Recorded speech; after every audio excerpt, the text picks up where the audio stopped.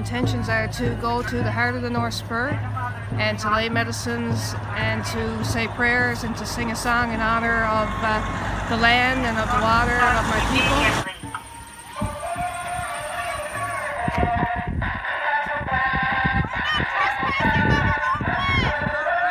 I mean, the numbers are small here today, but it's it's you know it's the spark that'll set the fire burning again. I think, you know, and I think the numbers are going to come back.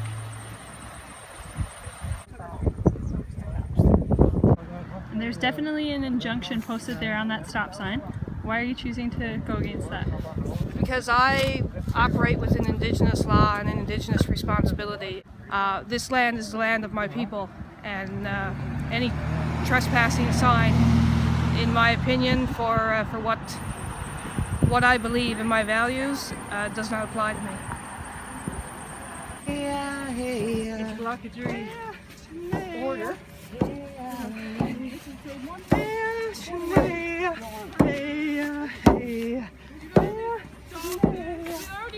uh, I know. I Don't